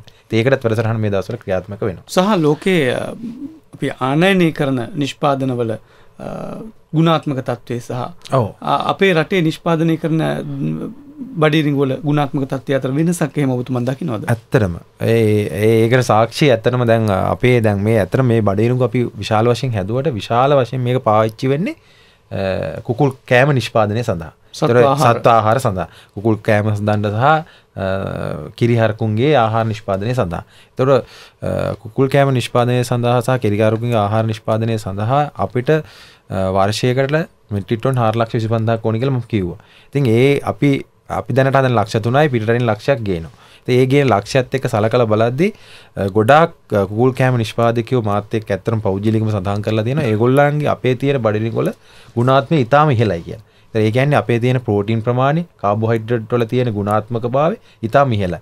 ඒ හින්දා ඒගොල්ලන්ට කුකුල් කෑම කිලෝ මේ කුකුල් මස් කිලෝ එකක් නිෂ්පාදනය කරන්න භාවිතා කරන්න ඕන කුකුල් කෑම ප්‍රමාණය ඉස්සර අපි ගැන අඩු ගැන ගුණාත්මෙන් අඩු බඩනු පාච්චි කරද කිලෝ දෙකක් දුන් දෙන්ඩ අවශ්‍ය වෙලා තියෙන නමුත් දැන් වෙනකොට ඒක එකයි දශම් පහකට වෙනකට අඩුකර ගන්න පුළුවන් වෙලා තියෙන මේ ගුණාත්මයෙන් ඉහළ බඩිනුක භාවිච්චි කරන්න පුළුවන් ඉඳ ඒගොල්ලෝ කියන්නේ තවත් මේක ඉහළ නංගන්න පුළුවන්. මේ බඩිරිඟු තව ප- ප්‍රමාණයක් වැඩි කරන්න පුළුවන් නම්. එතකොට අපේ අවශ්‍යතාවය ඇත්තටම ලක්ෂ පහක් වෙනවා. දැන් ගොවි මහතුරුන්ට කිසිම අ, මේ මේ බාධාවක් නෑ ඕන තරම් නිෂ්පාදනය කරොත් ඕන තරම් බඩිරිඟු විකුණන්න පුළුවන්. හොඳ මිලක් අපි ඉදිරියේදී හදන්න ශේෂ වැඩතරම් රාශියක් දැනට කුෂිකර්ම අමාත්‍යංශය යටතේ ක්‍රියාත්මක වේ කියලා කරගෙන යනවා. මේ ගුණාත්මයෙන් ඉහළ තත්ත්වය ළඟා කරගන්නට නම් අනිවාර්යයෙන්ම Tamanගේ වගා බිම නිවැරදි ආකාරයෙන් නඩත්තු කළ යුතුයි. ඒ නිසා අපි මේ පාංශු සංරක්ෂණය පිළිබඳව නිරන්තරයෙන් කතා කරන්නේ. මුල් සාකච්ඡාවන් තුල අප කතා කළා යාන්ත්‍රීකරණය තුල කොහොමද පස සංරක්ෂණය කරගත හැකි වන්නේ? සස්්‍ය විද්‍යාත්මකව කොහොමද පස සංරක්ෂණය කරගත හැකි වන්නේ කියන කාරණේ. නමල් හෙටිආරච්චි මහත්මයා ඔබතුමන්ට පුළුවන් අපිට කියන්නට. මින් අනතුරු අප කතා කරන්න උත්සාහ කරන්නේ ජීව විද්‍යාත්මකව කොහොමද අපේ පස සංරක්ෂණය කරගත හැකේ කියලා. අන්න ඒ පැහැදිලි කිරීම ඔබතුමන්ට කළ හැකි දැන්. ඔව්. අ, දැන් අපි මේ ජීවිද්‍යාත්මක පස සංරක්ෂණ ක්‍රම කියලා කියන්නේ අපිට පුළුවන් සමහර පැලෑටි වර්ග සහ සමහර සාක වර්ග. අ, මේ අපේ ප්‍රධාන භෝගයට අමතරව පස සංරක්ෂණය සඳහා යොදාගන්න. මං උදාහරණයක් හැටියට අපි ගමු සැවන්දරා. මේ සැවන්දරා වැටි යෙදීම පස් සංරක්ෂණයට අපිට ප්‍ර- මේ ලේසින් යොදාගන්න පුළුවන්. පහසුවෙන් වවන්න පුළුවන් පැලෑටියක්. අ, මේ ඒක නිසා අ, මේ මේ සැවන්දර වැටියදීම හරි පහසුවෙන් කරන්න පුළුවන් මේ අපේ ශේස්ත්‍රවල මං කියන්න කොහොමද යොදන්නේ කියලා දැන් අපි සැවන්දර වැටියක් යොදන්නේ අඩියක පරතරයට අඟල් 6න් 6ට දෙපේලියට සැවන්දර හිටවගෙන යන්න ඕන. එතකොට මේ වැටි හිටවන්නේ අඩි 50ක වගේ පරතරකින් හිටවන් ඇති ඉඩම ඉඩ මේක වැටියක් හිටලා ඊට අඩි 50කට ඊග වැටි. එතකොට ඒ අතර අපිට පුළුවන් බඩිනු ගවන්න. එතකොට වෙන්නේ අර සැවන්දර වැටිය කාලයක් යනකොට හොඳට ගණට හැදෙනවා. හැදුනහම ඒ ඒ පස් ඒ සමන්දර වැටියම් හොදගෙන යන එක පාල ආරක්ෂා කරනවා. ආරක්ෂා කරනවා. ඉතින් ඒ ඒ අතර අපිට බඩිනු ගවන්න පුළුවන්. ඒ සෑමන්දර වැටි අපිට යම් නඩත්තු කිරීමක් කරන්න වෙන ගොඩක් බොහොම අඩු නඩත්තු කිරීමක් තියෙන්නේ. ඒතර සෑමන්දර අපිට ඕනම් මේ මු- ඒ- ඒ මූලපද්ධති සමහරට ඖෂධයක් හැටියට පාවිච්චි කරන්න පුළුවන්. ඒකටත් අ, අ, විකිණීමේ හැකියාවකුත් ආර්ථික තියෙනවා. ආර්ථික වටිනාකමක් තියෙනවා. ඊට අමතරව සමහර ශාක වර්ග තියෙනවා. අපි හිතමු ග්ලිසීඩියා. ආ, ඊට පස්සේ වල් සූරියකාන්ත. ඔය පාවට්ට කියලා ඖෂධ පැලැටි වර්ගයක් තියෙනවා. අපිට පුළුවන් ඒවත් මේ අපි කියනවා ජීව වැටි කියලා. ඒවත් අපිට පුළුවන් ඉඩමේ අඩි 50ක 50ක වගේ පරතරයට දෙවැටියකට යොදන්න. ඒ කියන්නේ ඒව යොදනකොට අඩි එකහමාරක පරතරයට දඬු අපි අඟල් 6න් 6ට දෙවැටියක් හැටියට හිටනවා. ඉතින් මේක කාලයක් යනකොට හොඳ වැටියක් හැටියට සකස් වෙනවා පස හොදගෙන යාමට එරෙහි වෙන්න. අ, ඊට පස්සේ අනිත් කාරණේ තමයි දැන් ඒ වගේ අ, අපි ග්‍රීසිඩියා වලින් අ, මේ සුබල් සූර්යකාන්ත පාවට්ට වගේ ඒ වලින් අපි දෙවැටි හැදුවනම් ටිකක් නඩත්තු කිරීමක් කරන්න වෙනවා. ඒ පපුවේ මට්ටමට වගේ ලියලා නුන කප්පාදු කරලා නඩත්තු කිරීමක් කරන්න වෙනවා. ඒ අතුරු කිරි ඕන අපිට කොම්පෝස්ට් හදලා අ, අපිට ආපහු නැවත ශේෂ්ත්‍රිට දාන්න පුළුවන්. සමහරවිට සත්වාහාරයක් හැටියට ගන්නත් පුළුවන්. ඒක නිසා අමතර වාසියකුත් ගොවි මහතුරුන්ට හම්බ වෙනවා. අ, මේ මේ ජීවැටි භාවිතා කිරීම නිසා. මේ මේ දේවල් අප ඔබට සඳහන් කරන්න. ඇතැම් වෙලාවට ඔබ මේ වන විටත් අනුගමනය කරනවා වන්ට පුළුවන්. අනුගමනය නොකරනවා නම් අනුගමනය කිරීම උදෙසා අප මේ කාරණාවන් කියන සමාජ සමෝච්චරේකාවට සමගාමීව තමුන්ගේ පස් වැටියදීම කුට්ටිකානුයදීම ඒත් එක්කම සශ්‍ය විද්‍යාත්මකව ඒ වැඩ කටයුතු සිදු කිරීම සහ මේ අපේ නාමල් මහත්මය දැන් සඳහන් කළ ජීව විද්‍යාත්මක ක්‍රමවේද ඔස්සේ. තමුන්ගේ ගේ- ගොවි බිම ආරක්ෂා කළොතින් අර සඳහන් කරන ඉහළ ඵලදායිතාවය හෙක්ටයාරකට මෙට්‍රික් ටොන් 6ක් පමණ 7ක් 8ක් පමණ මට්ටමකට ළඟාවීමේ හැකියාව තිබෙනවා. බ්‍රසීලයට පුළුවන් නම් ශ්‍රී ලංකාවේ අපට බැරි ඇයි? එයයි අප විශ්වාස කළ යුත්තේ. අප අපව විශ්වාස කොට මේ කටයුත්ත කරනවා නම් අපට බොහෝ ප්‍රතිඵල අත් කරගන්නට පුළුවන්. අපේ බුද්ධික මහත්මයා සඳහන් කළා ඉදිරියේ තියෙන මේ ඉල්ලුම හමුවේ වෙළඳපළ පිළිබඳව ගැටලුවක් නැහැ කියලා. ඔබතුමන්ලගේ සැලැස්මකුත් තියෙනවා මේ හා සම්බන්ධ. ඔව් ඇත්තටම දැන් කුෂිකර්ම අමාත්‍යන්සේ යටතේ අපි ඉස්සරහට බලාපොරොත්තු වෙනවා සියලුම ගොවි මහත්තුරු දැන් බඩිනු නිෂ්පාදනය කරන ගොවි මහත්තුරුන්ට ලියාපංචියක් දෙන්න. ඒකට ඇත්තටම අපි ඊළඟ 2018 වර්ෂයේ අපි බලාපොරොත්තු වෙනවා විශේෂයෙන්ම ප්‍රාදේශීය ලේකම් කොට්ටාස 15ක් මූලික අධීර විදිහට තෝරගන්න. එද මූලික අධීර විදිහට තෝරාගෙන ඒ 15 ඉන්න සියලුම ගොවි මහත්තුරු බඩිලින් වගා කරන ගොවි මහත්තුරු අපි මේ අපේ ව්‍යාපෘති යටතේ අ, ලියාපංචි ගොවි මහත්තෙක් විදිහට ලියාපංචි කරගන්න. සාමාන්‍ය බුද්ධික මහත්මයා මේ වෙන විට කොපමණ ගොවීන් පිරිසක් බඩිනුගු ගොවීන් විදියට අ, ඉන්නවද? ඔව් ලක්ෂ අ, පහකට ආසන්න ප්‍රමාණයක් ඉන්නවා ගොවි මහත්තුරු. නමුත් අපේ තාම ඒකට අර හැදිච්ච දත්ත. දත්ත පද්ධතියක පොඩි අඩුවක් තියෙනවා. නමුත් ඉස්සරහට අපි බලාපොරොත්තු වෙන්නේ මෙහෙම අ, දැන් අර මං අර කියපු විශේෂ දේ දැන් මේ වැදරග මහත්තයලා කතා කරපු පාන් සංරක්ෂණ ක්‍රම එතකොට අපේ ශශ්‍ය විද්‍යාත්මක ක්‍රම සියලුම දේවල් පාවිච්චි කරලා ඔය අපි කියන හයයි දශම පහ අස්වන්නට යන්න පුළුවන්ද බැරිද කියලා හරියටම බලන්න පුළුවන් ක්‍රමවේදයක්. ඉතින් ඒකට අපි බලාපොරොත්තු වෙන්නේ මේ ප්‍රාදේශීය කොටස් 15 තෝරාගෙන ඒ 15 ඉන්න ගොවි මහතුරු සියලු දෙනාම ලියාපදිංචි කරගෙන ඊට පස්සේ ඒ ඒ සියලුම ඉඩම් පන්සල් රක්ෂණ ක්‍රම යොදමින් ඒ වගේම සස්ත්‍ර විද්‍යාධි ක්‍රම පාවිච්චි කරලා සංවර්ධනය කරලා වඩේරුම් වැටත් යම්සි ප්‍රමාණ රජයේ දායකත්වයක් එක්ක ගොවින්ට ලබා දීලා ඒ ප්‍රදේශය සම්පූර්ණ මේක සංවර්ධනය කරන්න ඒක අපි ශේෂ වැඩසටහනක් මේ අවුරුදු දෙදස් දහට වර්ෂය ක්‍රියාත්මක කරන්න මහිතන යෝජනවලට අපි ඉදිරිපත් කරලා තියෙනවා ඉතින් ඒක ඉස්සරහට අපිට පුළුවන් වෙයි ඒකත් එක්ක බලන්න ඇත්තට මේ ප්‍රදේශවල මේ මේ මේ ගන්න පුළුවන්ද කියලා. ඉතින් විශේෂයෙන්ම උතුරු මැද පළාත සහ මුණරාගල දිස්ත්‍රික්කයේ බදුල්ල සහ අම්පාර ප්‍රදේශ අපි මේ සඳහා තෝරාගෙන තියෙනවා. ඒක එක විශේෂ වැඩසටහන. ඊට අමතරව මේ ඇත්තටම දැන් මේකේ මේ වගා කරන පුජ්‍යලයා වගා කරාට මිලදී ගන්න පුද්ගලයා එතන හිටියේ නැත්තම් මේක මේ මේ හරියන්නේ නැහැ වැඩි. ඒත් අපි ඒ දෙපැත්තම බලන්න ඕනේ. එතකොට ඇත්තටම මේකේ ඉන්න විශේෂම පුද්ගලයා තමයි දැන් අපි හඳුනාගෙන තියෙන්නේ මේ මේ කුකුල් කෑම නිෂ්පාදක කරන කණ්ඩායම නේ. එතකොට ඒගොල්ලන්ටත් මේකේ වාසියක් තියෙන්න ඕනේ. නැත්තම් දැන් අපි බඩිරුගු නිෂ්පාදනය කරලා අද 40ට නිෂ්පාදනය කළා හෙට වෙනකොට 50 වෙනවනම් ඒ නිෂ්පාදනය කඩා වැටෙනවනේ. එතකොට ඒ දෙක සමපාත වෙන්න ඕනේ. ඒ හින්දා අපි දැන් ඉදිරියේ මේ මේ මේ මේ මාසේ ඉදිරි මාසේ අපි බලාපොරොත්තු වෙනවා සියලුම නිෂ්පාදකයෝ Google කැම නිෂ්පාදකයෝ බඩරික එකතු කරන්න සහ ගොයි කණ්ඩායම් නියෝජිතයෝ ඒ වගේ අපේ රජයේ නිලධාරීන් ගෙනල්ලා විශාල සමුළුවක් පවත්වන ඒකදී අපි තීරණය කරන අපි කතා කරලා මේ ඉස්සරහට යන ක්‍රමවේදය හදන්න මේකේ. ඉතින් ඒක ඒක අපි ඉස්සරහට කරන්න බලාපොරොත්තු වෙනවා. ඒත් එක්කම මං හිතන්නේ අපිට පුළුවන් මේකේ මේ ප්‍රමිතිය දියුණු කරගත්තොත් කාටවත් මේක මේ දැන් ආනෑ ඔයාගේකේ මේ වතුර ප්‍රමාණය වැඩි. ඔයාගේ මේ මේකේ තියෙන මේ අපද්‍රව්‍ය ප්‍රමාණය වැඩි. ඒ හින්දා ඔයාගේ ගන්න රුපියල් 25ට 30ට කියලා කියන්න බැරි. තත්ත්වයකට ගොවිමුගේ ගුණාත්මය දියුණු කරන්න. ඉතින් එතකොට පුළුවන් අපිට නිශ්චිත මිලක් තීරණය කරලා නිෂ්පාදකයා ගැන කුල් කෑම නිෂ්පාදකයා සහ මස් නිෂ්පාදකයා ආරක්ෂා කරන ගමම ගොවියාට හොඳ මිලක් දීලායාගේ ආර්ථික හෙල්ලනවා. නේද මේ වැඩපිළිවෙල සියල්ලම සකස් කරපු ඉතාමත් ක්‍රමවේදයකට සකස් කරු වැඩසටහනක් දැනට සකස් කරමින් පවතිලා ඒක ක්‍රියාත්මක කරන්න මූලික අධීර දැන් ක්‍රියාත්මක කරමින් පවතිනවා. අනාගතයේ සැලැස්ම හොඳයි. ඒ නිසා ගොවි ජනතාවට තරම් බියට පත්විය යුතු නැහැ. අපේ වගාවට හොඳ මිලක් ලැබෙයිද? වෙළඳපොලක් තියේද කියලායි අවිනිශ්චිත භාවය තුරන් කළ වටාපිටාවක් තමයි ඉදිරියේදී නිර්මාණය කරන්න උත්සාහ කරන්නේ. අපි කෑන්දරගම මහත්මය ඔබතුමන්ගෙන් දැන් දැනගන්නට කැමති මේ පාන්සු සංරක්ෂණ ක්‍රමයක බොහොම බද්ධ වුණු කාරණාවක්නේ ජලය කියන එක. වැස්ස වැටුනත් ජලය ලැබෙනවා සහ සපේන ඇලවේලි හරහා ලැබෙන ජලය වුණත් ජලය ලැබෙනවා වගාබීමට මේ හැම කාරණාවක් තුළම ජලය කළමනාකරණය කිරීම වනාකොට ජල බැස්මක් ඇති කිරීම මේ සියල්ල වඩා වැදගත් වෙනවා පාන්සු සංරක්ෂණය සහ ඵලදායිතාවට කොහොමද මේ ජලය බැහැර කිරීම සඳහා විධිමත් ක්‍රමවේදවල අවශ්‍යතාවය හඳුනාගත හැකිවන්නේ මේ වගාව සඳහා. මේ ජලය කළමනාකරණය සම්බන්ධ එන්න කලින් මම තව කරුණක් විශේෂ සඳහන් කරන්න ඕන. නාමල් මහත්තයා කිව්වා අර පස් වැටි දාන්න කියලා සංරක්ෂණ ක්‍රමයක් විදිහට. වගේ දෙවෙනි වටේදී නාමල් මහත්තයා කිව්වා මංසි පැලෑටියක් හිටවන්න කියලා. සැවැන්දරා වගේ සැවැන්දරා වගේ පැලෑටියක්.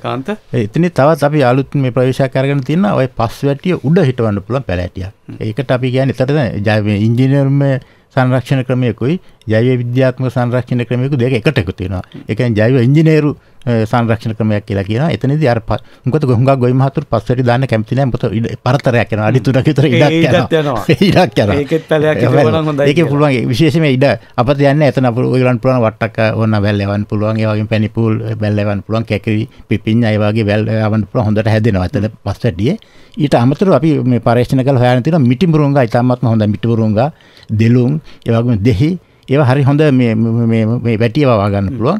ඒ වගේම වැඩි පරතරයකට හල් මිල්ල වවන්න පුළුවන් වැඩි පරතරයට. ඒ වගේම ඒවා ඒ මම සඳහන් කරපු හැම පැලෑටියක්ම එච්චර සෙවන දෙන්නේ නැති පැලෑටි. සෙවන දෙන්නේ නැති යම්කිසි ආර්ථික වටිනාකමක් දෙන ඕනම පැලෑටියක් අපිට ඒ වැටිය හදා වවලා ඒකෙන් අපිට ආර්ථික වටිනාකමක් ගන්න පුළුවන්. ඊට අමතරව දැන් අපි මේ සාකච්ඡා කරන්න බලාපොරොත්තු වෙන්නේ ජලය කළමනාකරණය. මෙතන විශේෂයෙන් සඳහන් කරන්න ඕනේ මම ඉස්සලා කිව්වා වගේ වීරි කලාපයට අධික වැසි ලැබෙනවා. සාමාන්‍යයෙන් දවසකට මිලිමීට සීය එකසි පනා දෙසිය වහිනවා. වහින කාලේ වහින කාලෙට. ඔය බරගු හිටවන කාලෙට. ඔය වතුරෙන් වැඩි කොටසක් ඉඩම උඩින් ගලාගෙන යන්නේ. එතකොට අර ගහවල තියෙන පොහොර අරමිටි ඔක්කොම හොදාගෙන යනවා. අනිත් එක තමයි තමුන්ගේ ඉඩමට උඩින් ලොකු කන්දක් වගේ තියෙනවා. කන්දෙන් එන වතුර පාරක් ඉඩම උඩින් යන්නේ. මේක ලොකු හේතුවක් සෝදාපාලුව සහ පසේ පෝෂක හිණවීමට. එකන්ද අපි ජල කළමනා කරන්නේ අපි ඉස්සලම ගොවි මහත්තයාට කියන්නේ තමුන්ගේ ඉඩමේ උඩ මායිමෙන් හරහට පිටාරකානුවක් දාගන්න කියලා. ඒක කවුරක්වත් තාම හරියට කරලා නැහැ. තමුන්ගේ ඉඩමේ උඩින් එන වතුර ටික ඉඩම හරහා යන්න දෙන්න එපා. ඒක පිටාරකානුවක් හරහට දාලා ඒ ඒ වතුර පාර ඉඩමෙන් පැත්තකට ගන්න කියලා. ඒක විශේෂයෙන් වැදගත්. ඒකට අපි කියන්නේ පිටාරකානුවක් දාන්න කියලා. ඒක විශේෂ මුගක් ගොවි මහතුරු තාම ඒක ඒ ගැන අවබෝධ කරලා නැහැ. අපි මුගක් වැඩසටහන් කරනවා. ඉතාම වැදගත් තමයි උඩ ඉඩමෙන් එන වතුර ටික ඉඩම හරහා යන්න දෙන්න එපා. ඒක පිටාරකානුවකින් පැත්තකට ගන්න. ඊට අමතරව අර නාමල් මහත්තයා කිව්වා වගේ පස් වැටි දාපුවහමත් ඒ වැටි වලුත් වතුර ඉඩමේ පැත්තකට එනවා. ඒක හන්දා ඉඩමේ පැත්තකින් නෙත්ති කානුවක් දාගන්න ඕනේ. ඒතකොට දෙවෙනි පියවර තමයි නෙත්ති කානුවක් දාගන්න එක. මෙන්න මේ ක්‍රම දෙක විශේෂයෙන් අනුගමනය කරන්න ඕනේ. විශේෂයෙන්ම ජලය කළමනා කිරීමේදී. එතකොට අර ඉඩම තුළින් මහා ජලකඳක් ගලාගෙන ගිහිල්ලා ඒ සෝදාපාවල නිසාර වීම සෝදාපාවල කිසි දෙයක් වෙන්නේ නැහැ. ඒ විශේෂයෙන්ම ගොවි මහතුරුන්ට කියන සංරක්ෂණ ක්‍රම ඉදුවෙන් පස්සේ අනිවාර්යයෙන්ම මේ ජල කළමනා කිරීම සඳහා වැදගත් වෙන කරුණු දෙකක් තමයි එකක් තමයි පිටාර කාණු දාරන ඉඩ උඩින් අනික තමයි සංරක්ෂණ වැටි වලින් ඉඩේ පැත්තට එන ජලය ඊටම සුරක්ෂිතව ස්වාභාවික ජලයකට මේ පාත් කර යවන්න අවශ්‍ය කරන නෙත්ති කාණුවක් දාලා ඊට පස්සේ නෙත්ති කාණුව ප්‍රධාන කාණුවකට යොමු කරලා ප්‍රධාන කාණුව අපිට ස්වාභාවික කඳුරකට යොමු කරන්න බෑ. ඒ වගේ ජලය කළමනාකරණය කිරීම සහ ජලය බස්වා යැවීම සඳහා හොඳ කාණු පද්ධතියක් විශේෂයෙන් අවශ්‍යයි. ඒක තාම අපි හුඟක් ගොයිම් හත්තුරුගේ ඉඩගුල දකින්න ඒක අනිවාර්ය විශේෂයෙන් කියලා. මොකද එහෙම නැත්නම් ඒ ජලයෙන් මගින් ලොකු ප්‍රමාණයක් පෝෂක හොදාගෙන යනවා. ඒ වගේම ජලය හොදාගෙන යනවා. ඒ නිසා අනිත් එක තවත් තමයි අපිට ඒ ඉඩම තුල පොඩි පොකුණු වගේ හදලා මේ ජලය තියාගන්න පුළුවන්. තියාගෙන පස්සේ අවසර ප්‍රයෝජනට ගන්න පුළුවන්. සාමාන්‍ය වගේ ජලය බස්නා කානු පද්ධතියකුත් අපිට මේ ඉඩමට ඇතුළත් කිරීමෙන් අපිට ඒ අවශ්‍ය කරන ඵලදායීතාවය නම් වාගන්න පුළුවන්. සාමාන්‍යයෙන් වී වගාවට අවශ්‍ය ජල ප්‍රමාණයක් තියෙනවනේ. දැන් බඩීරිඟු වගාවට කොපමණ ජලයක් අවශ්‍යද? ඇත්තටම ගොවි මහත්තුරු මේ වී වගාවට පාවිච්චි කරොත් එහෙම ඒක එක එක්කෙනාගේ ක්‍රමවේද අනුව වෙනස් වෙනවා. නමුත් අක්කරාඩි හයක් විතර පාවිච්චි කරනවා. පහත් හයත් අතර ප්‍රමාණයක් පාවිච්චි කරනවා. සමහර ප්‍රදේශවල හතකුත් පාවිච්චි වී වගාවට. වී වගාවට. එතකොට අපි දැන් බඩේරිගුව ගත්තාම බඩේරිගු වලට ඕනේ අක්කරාඩි 3.2යි. ඉතින් ඒකේ භාගයක් වගේ තමයි ඕනේ. ඒ හින්දා තමයි මම ඉස්සල්ලත් කිව්වේ වී වගා කරන්න බැරි ගොඩ කුමරිටමත් තියෙන අපි බඩිනු ගාට එමවෙන්න පුළුව දැන් මොකද ම ඒ මහන්ට කල්පනා කළේ අපේ කෑන්දරක මහත්ම සඳහන් කළ මේ ජල කළමනා කරණය තුළ යම් පමණකට පොකුණක් වගේ දෙයක් හදාගත්තොත් ඒ භාතාකරන ජලමටම රඳවා ගන්න පුළුවන්. එහෙම කාරණාව අනිත්තක පඩි කරුණ කියන දෙන තුම කියපයක සම්බන්ධව. ඇතරම බඩීනු ගොගාවේ සාර්ථකත්වය රඳදා පවතින්නේ ජලය තිබෙන එක සහ ජලය බැසෑම්මට මෙතුම හොඳ කරනත් තමයි ඉදිරිපත් කරේ. මොද දැන් අර ජල බැසෑම කානුවක් සනස් කරන කියන්නේ පසේ ජලය හිටන එක අඩුවන පස හිටන අඩුන කියන බඩි හොඳට වැඩන්න හොඳ ඔගොල හොඳට බැලුවොත් හමගොයි මාතුර හොතර දන්නවා වතුර හිටන දැනත් තිබොත් බඩින් කොහොමත් හැදෙන්නේ තර බද ජලසෑම් බැසයාම කියන්නේ බඩිරුමගාව අත්‍යවශ්‍ය කාරණය. ඒක ඒක මං හිතන්නේ මේ පවස් සංරක්ෂණ ක්‍රම පාවිච්චි කරොත් අපිට නිතතින්ම හදාගන්න පුළුවන් කාරණය දැන් සඳහන් කළ විදියට අර ඉඩ මේ උඩින් දාන කානු පිටාර පිටාර ඉතාමත් අපේ ගෝ ජනතාව ඒ තාම තාම අපේ අවබෝධ කරන්න අපි ඔබතුමන් හැමගින් හැමදිනාගෙන් මිල්ලා සිටින්නේ උත්සාහ කරන්න මේ කියන කාරණා විද්‍යාත්මකෝ මෙතුමන්ල මේ සනාතකොටගෙන ඒ පිළිබඳව අධ්‍යයනය කරලා මේ කාරණා සඳහන් කරන්නේ. උපරිම උත්සාහ කරමු අපේ වගාබෙම මේ කියන කාරණාත් එක්ක සමපාත කරගෙන වඩා හොඳ ආස්වැන්නක් ලබා ගන්නට. නමල් මහත්මයා දැන් ඒක මේ නඩත්තු කිරීම කියන එක තමුන්ගේ ගොවිබිම නඩත්තු කර ගැනීම බොහොම වැදගත්. මේ නඩත්තුව කොතරම් නම් වැදගත් වෙනවද වඩා හොඳ ඵලදායිතාවයක් බඩීරුඟු වගාවෙන් ලබා ගන්නට. ඔව් දැන් අපි ගොඩක් පන්සල් නර්සින් ගැන කතා කරා. අපි මේවා යෙදුව වගේම නඩත්තු කරන්න ඕන. අපි අපි ගියක් යෙදුවත් අපි නඩත්තු කරන්න ඕනේ. ඒ වගේ මේ පන්සල් නර්සින්ගමත් අපි යෙදුවොත් ඒක දිගින්දිරෙන් නඩත්තු කිරීම අපිට අවශ්‍ය වෙනවා. වතාවක් දාලා පැත්තකට උනට හරියන්නේ නැහැ. හරියන්නේ නැහැ. ඉතින් නඩත්තුව තුලින් තමයි අපි දිගින් දිගටම මේ ඉඩමේ ඵලදායිතාවය තියාගන්න පුළුවන් වෙන්නේ. ඉතින් අපි හිතමු පස්සට යෙදුවා. අපි කුට්ටි ගානු යෙදවා මේවා මේ පුළුවන්තර නඩත්තු කිරීම අවශ්‍ය වෙනවා. පස්සටි ගත්තොත් එහෙම පස්සටිය යොදපුවාම අර කෑන්දර මහතා කිව්ව වගේ මේ පස්සට අපිට භෝගයක් වගන්න පුළුවන්. පිපිඤ්ඤක කිරි වගේ ඊට අමතරව මිටි මුරුංග වගේ ඊට අමතරව තෘණ තනකොළ උනත් පුළුවන්. ගුට්ටුකල උදුපිලියවත් පුළුවන්. එතකොට ඒක ගෙවිල යන්නේ නෑ පස්සට. ඉතින් එක නිසා ඒක දිගින් නඩත්තු කිරීම අවශ්‍ය වෙනවා. තව අපි දැකපු කාරණයක් තමයි ශේත්‍රීය පස්සට යොදපුවාම මේ පස්සටියේ ඉගව කන්න වෙනකට ගොඩක් කලාවට හානවා. පස්සටියත් එක් පස්සටිය දෙකම හන අපි ලොක අපේ දී ලොකු ඇදකම එක අපි පස්සට යොදලා එනවා. ඒගව කරන යනකොට පස්සටිය මේ ගොයි මහතුරු නොදනත් කමසා වෙන්න පුළුවන්? නෑ නෑ ඒක දැන් වෙන්න පුළුවන්. දැන් මේක බාර දෙනවනේ කෙනෙකුට. එයා ওই පස් වැටිය තියන්නේ ඒකත් හාලම දානවා. හලම දානවා. ඉතින් අන්නේ ගැන ගොඩක් කල්පනා වෙන්න. මොකද පස්සට මේකන් නියදුවන එක ලබන කන්නට තියාගන්න. ඒකට තමයි පුළුවන් තරම් මේ භෝග ඊටවන්න කියලා අපි මේ පුළුවන් තරම් මේ දිරි- දිරිමත් කරන්න. එතකොට හාන කෙනා ගොවි මහත්තයා වගේම තමයි පස් වැටිය ළඟ හිටන් ඉන්න එක මේක හාන්න එපා කියලා. ඒ. අනික තමයි මේ හානකොට සැලකිලිමත් වෙන්න ඕනේ. ඊට මේ සමෝච්චයට හාන. ඒකත් වැදගත්. දැන් ගොඩක් කලට මේ රියදුරු මහත්තයා හාන්නේ එයාට ලේසියට උඩ උඩහට පල්ලයට හානවා වෙන්න පුළුවන්. හැබැයි ගොවි මහත්තයා දැනගන්න ඕන හානකොට සැලකිලිමත් වෙලා ඊට මේ හරහට හාන. ඒකට ඒක විශේෂයෙන් සැලකිලිමත් වෙන කාරණා තමයි මෙන්න මේව නඩත්තු කිරීමේදී. කුට්ටි ගානුනත් එහෙමයි. කුට්ටි ගානු යෙදුවොත් කුට්ටි ගානු අයිනේ උඩින් අපිට සැවන්දර පිටක් වගේ හිටවන්න පුළුවන් හොදගෙන පස් කොන් මේ පාලනය කරගන්න. එතකොට අපිට කානුව ගොඩ දැමීමේ කාලාන්තරය අඩු කරගන්න පුළුවන්. ඉතින් ඒ වගේ මේ නඩත්තු කිරීම කරන්න වෙනවා. මේ මේ පස සන්දර්ශන වේදුවහම ඒ තුලින් තමයි අපිට දිගින් දිගට මේකේ ඵලදායීතාවය තියාගන්න පුළුවන්කම තියෙන්නේ. බොහොම සරල ක්‍රම තරමක් අ, වෙහෙස කරවන්නට පුළුවන් හැබැයි කාලාන්තරයක් යනකොට ඔබේ අ, ඉඩම වඩා නීරෝගී සම්පන්න ඉඩමක් බවට පත් කිරීම අරඹයයි මේ කාරණා අප මතක් කරන්නේ. ඒ නිසා අප සඳහන් කළේ මුලින් අර කැලෑ කපලා හදාගත්ත මුල් හේන් වල අස්වැන්න සහ පසුකාලීන අස්වැන්න කොතරම්නම් අඩු වී තිබෙනවාද කියන කාරණේ මේ සියල්ල තුල අප උත්සාහ කරන්නේ දයාබර කෘෂි ප්‍රජාවට කියන්නට. තමුන්ගේ වගා බිමේ පසට ආදරය කරන මේ මිහි තලයට ආදරය කළොත් හොඳ අස්වැන්නක් අපිට ලබා ගන්නට පුළුවන්. ඒ එක්කම මා අපේ අ, බුද්ධික මහත්මයන් දැනගන්නට කැමතියි. බුද්ධික මහත්මයා දැන් ඔබතුමන් සඳහන් කළා අ, කිලෝ 15000ක් පමණ බීජ නිෂ්පාදනය කොට තිබෙනවා කියලා. දැන් මේ ප්‍රමාණය අපිට පේනවනේ වැඩි අවශ්‍යතාවයක් තියෙනවයි කියලා මේ தત્ත්වය වඩා වර්ධනය කරන්න සැලසුමක් තියෙනවද ඔබතුමන්ලට ඔව්. දැන් අපේ පරීක්ෂණාන්තය සහ මේ පර්ේෂණාන්තය සහ ආ, කුෂිකර්ම දෙපාර්තමේන්තුවේ බීජාන්සය බී සාධි කිරීම සේවේ ඒ අංශ සියලුම එකතු වෙලා ව්‍යාප්තියංශය අපි ඔක්කොම ආ, විශේෂ වැඩසටහනකට ක්‍රියාත්මක වෙනවා. එතන විශේෂයෙන්ම අපි සඳහන් කරපු අපේ ප්‍ර- අපේ විය අපේ ප්‍රභේදය න එමයි මේ සයිබ්‍රිඩ් 1 එක කියන ප්‍රභේදය ආ, දැනට කුෂි යුද හමුදා කඳවුරු ආ, ආශ්‍රිතව සහ ප්‍රථම වතාවට ගොවි මහතුරුත් එක්ක ආ, වයම් පළාතේ අ, අ, ප්‍රදේශවල අපි මේ නිෂ්පාදනය ආරම්භ කරලා තියෙනවා. ඉතින් ඒකට සැලැස්මක් එක්ක අපි බලාපොරොත්තු වෙන්නේ ඊළඟ මේ කන්න තව අවුරුදු අ, මේ ඊළඟ අවුරුද්දේ හෙක්ටර් 100කට යන්න. ඉතින් හෙක්ටර් 100කින් අපි අස්වන්න බලාපොරොත්තු වෙනවා. සාමාන්‍යයෙන් කිලෝ 50000ක් නිෂ්පාදනය කරන්න. ඉතින් ඒත් එක්ක ගොවි මහතුරු අතර මේක ජනප්‍රිය වෙච්චාම අපි බලාපොරොත්තු වෙනවා ඊළඟ අවුරුද්දේ මේකට බීජ නිෂ්පාදනය කරන්න ගොවි සමාගමක් හදන්න. මොකද හැමදාම රජය බීජ නිෂ්පාදනය කර ගොවින්ට දෙන්න එහෙම අවස්ථාවක් නැහැ. ඇත්තට මේක අ, පෞද්ගලික අංශය මැදිහත් වෙලා මේක ව්‍යාපාරයක් බවට පත්විය යුතුයි. ඒ හින්දා අපි බලාපොරොත්තු වෙනවා දැනට ඒකට සැලසුම් හදලා ව්‍යාපෘති වාර්තාවක් අපි ලියලා තියෙනවා. ඒකෙදි අපි බලාපොරොත්තු වෙන්නේ ගොවි සමාගමක් හදලා ඒ ගොවි සමාගම හරහා මේ බීජ නිෂ්පාදන කටයුතු ආරම්භ කරලා ඒගොල්ලෝ මිලදී අරගෙන ඊට පස්සේ ඒක නමක් දාලා බෑග් එකක් අපි ඔය ආනයනය කරන බඩේනු විදිහටම ගොල්ලන්ද පොලට නිකුත් කරන්න. ඉතින් ඒ දා වැඩසටහනක් ක්‍රියාත්මක වෙනවා. සැලසුම් සියල්ල සකස් කොට තියෙන නිසා අනාගතයේ බඩිරු වගාව පිළිබඳව හොඳ අ, පෙරනිමිත්තක් අපට දකින්නට පුළුවන්. ඒ සඳහා වූ වටාපිටාවයි අද දවසේ සුභාරතී සංවාද මණ්ඩපය තුළ මේ සකස් කරමින් හිඳින්නේ. තවත් විනාඩි 4ක කාලයක් අපට තිබෙනවා. ඒ විනාඩි 4 හරියට විනාඩි දෙක දෙක බෙදලා දෙනවා අපි කේන්දරගම මහත්මයාටත් නාමල් මහත්තයාටත්.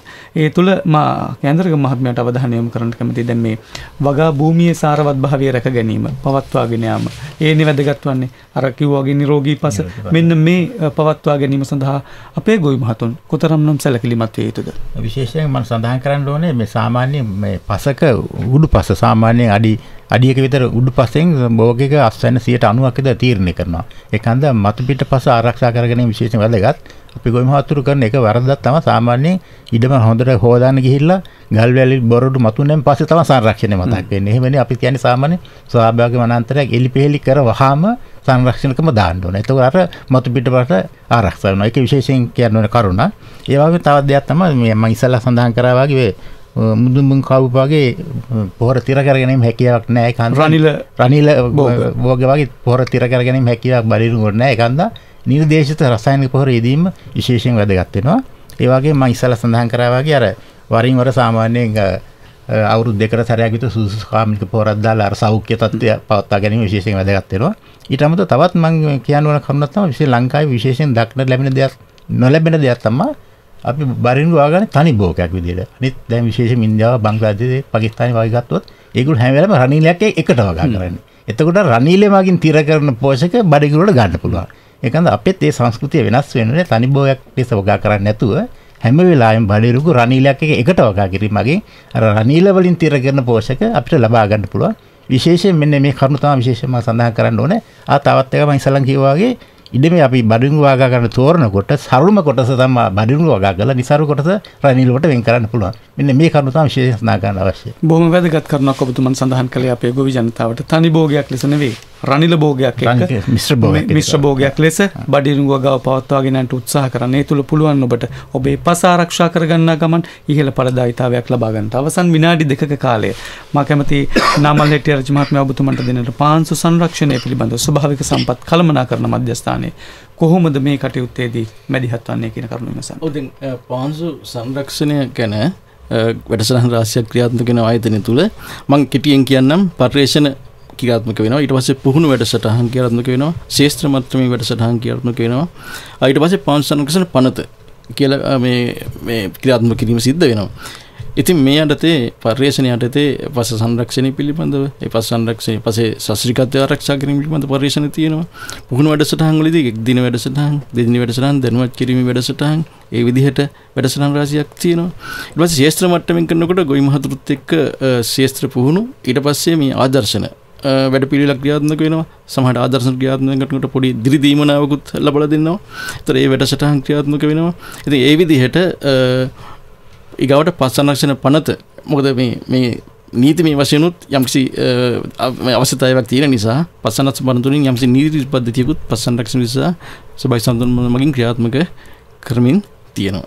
ඉතින් ඒ කොටස තමයි ගොඩක් කලාවට අපේ සබයි සමත් මධ්‍යස්ථනය වගේ ක්‍රියාත්මක වෙන්නේ ඒගාවට වැඩි විස්තරත් තියෙනවනම් අපිට මේ සභහික සඳ මධ්‍යස්ථානයේ මේ අංකට කතා කලට ගන්න පුළුව අපි සඳහන් කරව බින්දුවයි අටයි එකයි දෙකයි තුන්සිය අසුවටයි තුන්සිය පනස් පහ කියන අංකයට කතා කරලා ඔබට පස්සන්රක්ෂණ ක්‍රම පිළිබඳ පත්‍රිකා ඒ වගේ විස්තරපිට ලබල දෙන්න පුළුවන්.